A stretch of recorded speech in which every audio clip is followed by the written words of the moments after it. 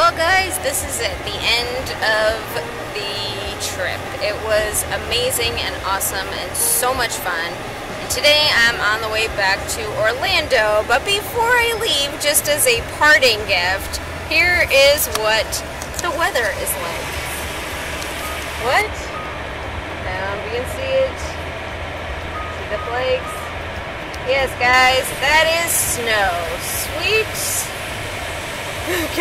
So we're on the way up to Indy, um, but before we go, we're going to stop for lunch, hopefully, as long as we can get there with no issues. Um, we are going to stop at this place called Gray Brothers Cafeteria that was on Man vs. Food, and we've been there one other time before, and it's incredible. Here we are at So- Gray Brothers Cafeteria. Anyway, this is it right here. Very cute little place. It's really neat inside. Come in.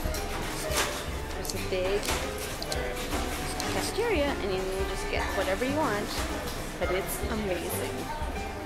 Really All right, don't judge. But this is her famous fried chicken, green beans. Look at the size of that lemon running by. It's ridiculous.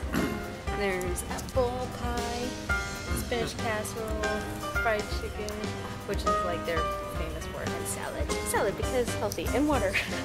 but the best part is we're sitting right here by this beautiful raging fire.